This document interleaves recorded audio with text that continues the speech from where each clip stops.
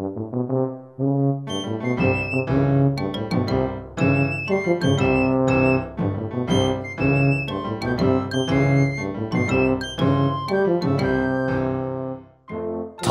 store godnattbok av Erik Hill. Lest av Helge Winther Larsen.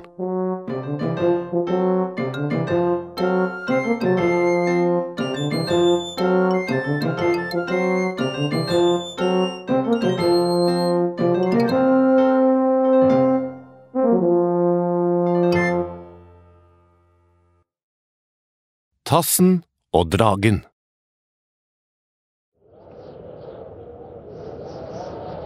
En dag, det blåste veldig mye, gikk Tassen ut for å prøve dragen sin.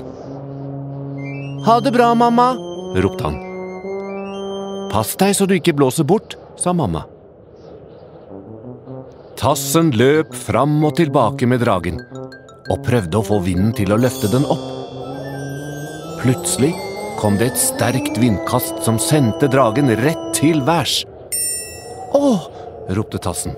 Se så høyt dragen min flyr! Men uff da. Hva skjedde nå, da? sa Tassen. Dragen hans hadde landet i et tre, og Tassen tittet opp på den. Jeg kan jo ikke nå den der oppe, sa han. Nå kan jeg ikke løpe mer med dragen min. Så dumt. Tassen ble lei seg og begynte å rusle hjemover.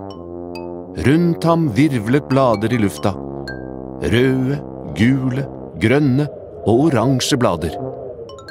Jeg vil prøve å fange et blad, sa han til seg selv. Men det var ikke så lett.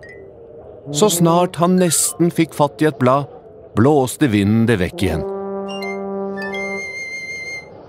Tassen tittet opp og så noe mørkt og stort som kom fykende. Det var ikke et blad.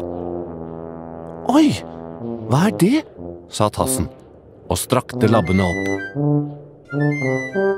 Tingen føk hit og dit, dalte ned, og svusj! Der landet den på Tassens hode og dekket øynene hans. Tassen så ingenting, men han hørte en stemme som sa, Ser man det? Der er jammen hatten min!